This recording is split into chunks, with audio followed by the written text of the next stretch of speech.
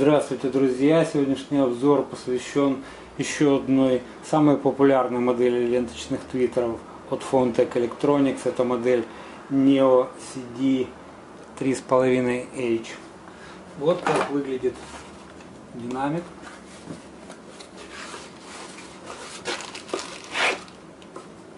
Поставляется он в такой коробке. Она не идеально надежна для транспортировки, поэтому в принципе ее хорошо бы паковать как-то иначе еще.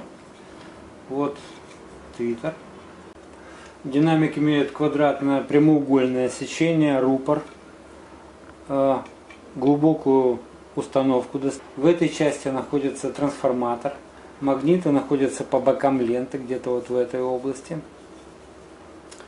Э, давайте посмотрим параметры этих динамиков э, на сайте производителя.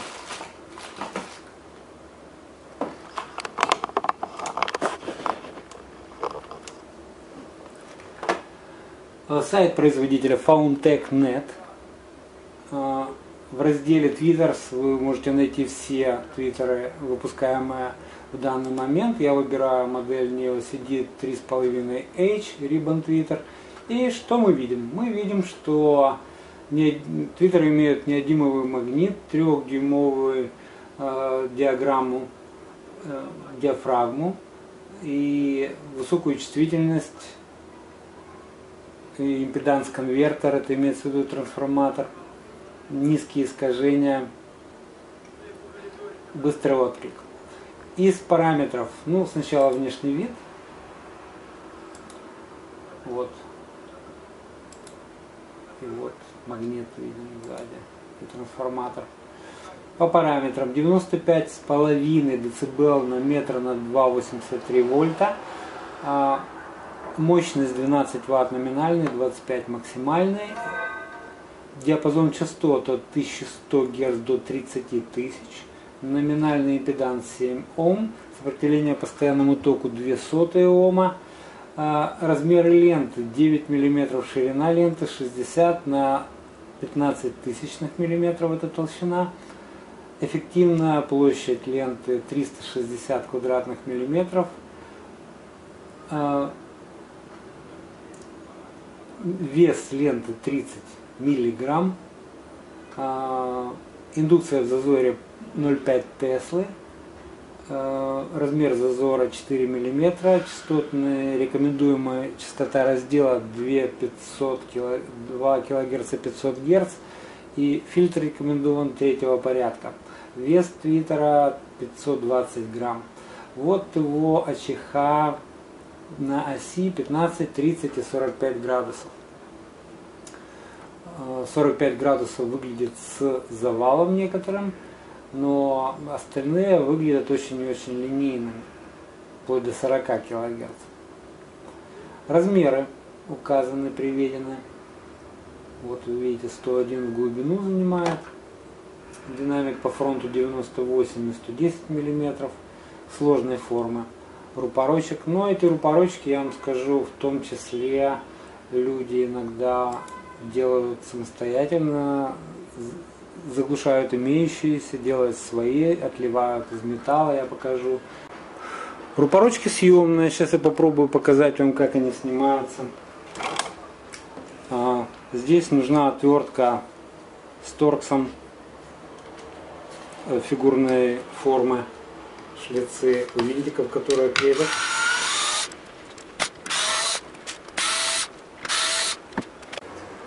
Вот, мы развинтили и снимаем. Перед нами твиттер. Мягкая гутоперчивая прокладочка, к которой прижимается, собственно, рупор. А, также выпускаются плоские фланцы для модели Neo CD 3.5M а, из металла. Можно заказать с такими. Фланцами. Но с рупором эта модель имеет оптимальные параметры, указанные на сайте производителя. Поставлю на место. Кстати, о рупорах. Некоторые люди переделывают их. А, я слышал обвинение, что рупор звенит. Он выполнен из пластика на самом деле и в принципе теоретически мог бы звенеть. Но, во-первых, он четырьмя крепежными элементами, там, саморезами, шурупами, винтами крепится к, ну, к прочному корпусу колонки, что его глушит. Но тем не менее, если вы сомневаетесь в том, что он недостаточно заглушен, можно обмазать его каким-то демпфирующим материалом, какими-то смолами и так далее. Задняя часть его не видна. Однако некоторые люди идут дальше и изготавливают сами эти рупора из металла, например. Вот покрашенный, покрытый сусальным золотом, например, на рупор для такого динамика. Вот их пара. Вот они в колонках из мрамора. Но оно смотрится, по-моему, как цыганщина какая-то, но то, что он выполняет роль, э, глушит, по крайней мере, излучение, это факт. Вот отливают из бронзы и получается совершенно заглушенный дизайн и не столь броский, как покрытый золотом. Вот они отлиты, эти заготовки. Вот эта фотка, вот другая. Ну, таким вот образом получается. Ну и красиво с одной стороны, и надежно задемпфировано. Нам известно много конструкций, которые люди собирали с такими динамиками. Вот, например, колонка из мрамора с динамиком низкочастотным 8 дюймов из шпона и этот Neo CD 3,5 стоит. Ну, красиво, здорово. Вот неплохой дизайн акустической системы по схеме Деполита с Neo CD 3,5 в середине композиции. Ничего, такие приличные колонки получились. Это кроссовер от них человек приводит размеры. В интернете много подобных конструкций, этих динамиков. Я не буду вас утомлять, я просто приведу некоторые, которые так прям так и просятся. Вот на солидных достаточно динамиках, тоже с применением NeoCD 3.5. Для более детального представления о работе этого твиттера нам необходимо просто померить его импеданс.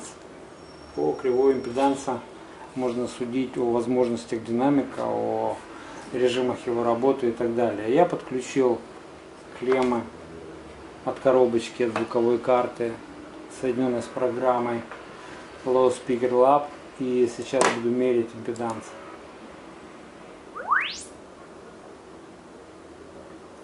Вот получилась такая кривая, с которой предстоит работать вы можете видеть, что сопротивление э, не, немного не доходя 7 Ом в рабочем э, диапазоне частот, а резонанс э, в пределах 450 Гц находится. Ниже кривая спускается и на постоянном токе сотые доли Ома, поэтому включать их можно исключительно через конденсатор. Кстати, давайте включим и попробуем послушать эти колонки. Секунду на перекоммутацию. Вот я подключил через коробочку коммутационную, в ней конденсатор 10 микрофарад, сигнал подал от внешнего усилителя низких частот на клеммы головки, собственно. И сейчас мы дадим фонограмму.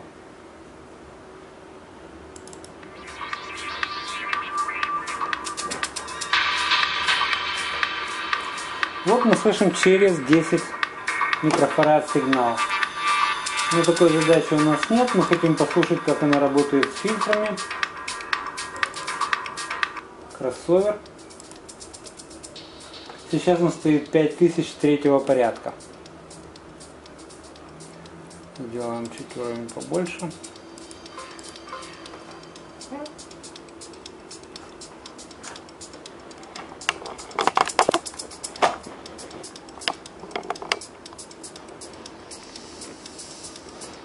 Я вам буду показывать, какие частоты на кроссовере я буду выставлять.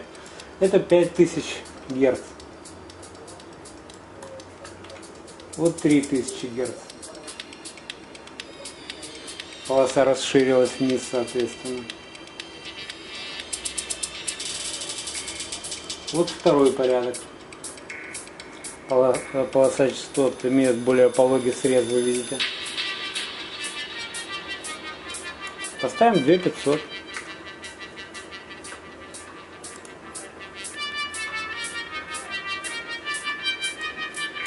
Поставим 2000. Напомню, что у нас еще конденсатор 10 микрофарад стоит последовательно. Поставим третий порядок на 2000.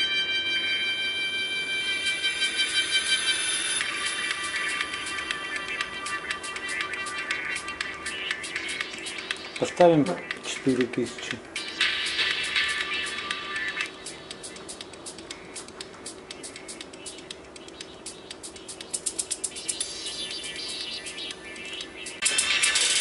Сейчас вы слышите э, классический фильтр 2,5 кГц, третий порядок, 18 дБ на октаву. Звучание исключительно чистое и классное. Кстати, без разницы, какое, какой конденсатор я сейчас здесь сделаю по входу, потому что третьего порядка фильтр все это перекрывает. А, высокие абсолютно прозрачные и не утомляют при этом. Чем интересен ленточник его звучания? Тем, что это безинерционный излучатель и качество высоких частот очень высоко. Этому способствует не только абсолютно ровная чеха, но и фазовая характеристика у них тоже очень линейная. Этот динамик используется в самых разных акустических системах разными людьми, и можно его рекомендовать как динамик высоких частот общего назначения, который не испортит, а лишь улучшит любую акустическую систему. Впрочем, спросим мнение профессионала об этом. Мы сегодня в гостях опять у известного звукорежиссера Анатолия Сороки из Guitar Records. А, мы хотим продолжить разговор о ленточных твиттерах. На сей раз предметом обсуждения будет а, ленточники Fontec Neo CD 3.5H, которые прошлый свой визит я заметил на мониторах на базе динамиков Таной. Скажите, пожалуйста, Анатолий, а Таной-то чем не угодили? Зачем им понадобилась подпорка сверху? Какой в этом смысл? При всем уважении к фирме Таной, они сами уже начали докомплектовывать свои э, разные колонки, студийные, хай-эндовские, э, пищалками, которые якобы до 50 тысяч. Но все равно это купольные. Купольные мне, в общем-то, не нравятся по сравнению с ленточными. У ленточных нету фазового сдвига. У них фазовая характеристика по мере изменения частоты не меняется. А любой купольник имеет заворот фазовый, по-моему, до 36 градусов. И когда их два рядом поставить, то становится слышно. Опять же, любой ленточник это катушка, это диффузор, это вес, это масса, это инерция. Ни, ни в какое сравнение не идет э, ленточным. Вы его как подключили? Там был какой-то кроссовер? Ну, или... поскольку Тоной, в данном случае это эксклюзивное изделие фирмы Тоной, это коаксиальный динамик, где все уже сделано, э, то мне не, нет необходимости менять высокочастотный, поскольку он там по-своему сшит э, с среднечастотным звеном. Поэтому я параллельно добавил Ага, вот как. А в зоне совместного излучения там нет каких-то неприятных звуковых артефактов? А, я попытался их компенсировать, насколько это возможно, э, с учетом размещения, то есть физические фазовые сдвиги пытался компенсировать. Но в принципе там, где заканчивает излучать тоноевский динамик, там уже работает ленточный, поэтому они друг другу не мешают. А скажите, не сказалось ли это на нейтральности звучания, которое столь необходимо в студиях звукозаписи, насколько я понимаю? А так, на высоких частотах, она настолько специфическая штука, сложно сказать, как это отражается на звуке. Но на ваших на записях это не страдает ли нейтральность ваших записей, не становятся ли они заточенными под определенный характер акустики какой-то? Так поскольку динамики высокочастотные, они же ничего не добавляют не- несуществующего в звуке. Я просто слышу тарелку как тарелку, а не э, ч. Ну, получается, что делают. пользователям вашего материала, который вы тут мастерите и сводите, а, в общем-то, без разницы, есть у вас супер твиттер или нет у вас супер твиттера. Если я плохо слышу, то я и плохо А, делаю. Я понял. А если понял, я хорошо слышу, то у меня есть возможность сделать звук натуральным и не испортить его. Не вытягивать высокие частоты за счет того, что купольник не дорабатывает. То есть больше информативности просто позволяет вам а, комфортнее находиться в середине звукового материала. Я получается. получил более естественное звучание, приближенное к реальному. Вы считаете эти твиттеры Fountek CD3,5 самые дешевые фунтики? а, достаточными, может, стоило там какие-нибудь CD2 или... А, наверное, они подошли по чувствительности вам просто. Да, вопрос чувствительности и вопрос запаса мощности. Это такие серьезные критерии. В принципе, я прослушал почти всю линейку Foundtech. Да, есть незначительные отличия, но принципиально любой ленточник, он просто на порядок э, лучше обычного шелкового диффузора, к которым все уже привыкли. Понятно, Анатолий. Очень здорово. Включите, пожалуйста, что-нибудь, чтобы мы могли насладиться. Пожалуйста.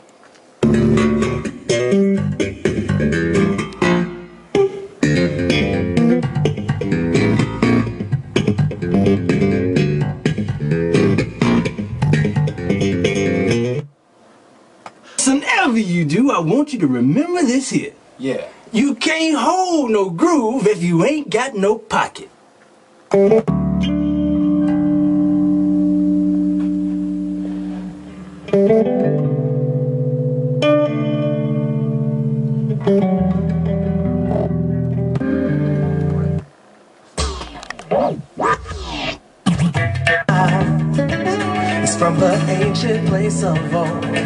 Stories to be told. Yeah. Oh, great spirit.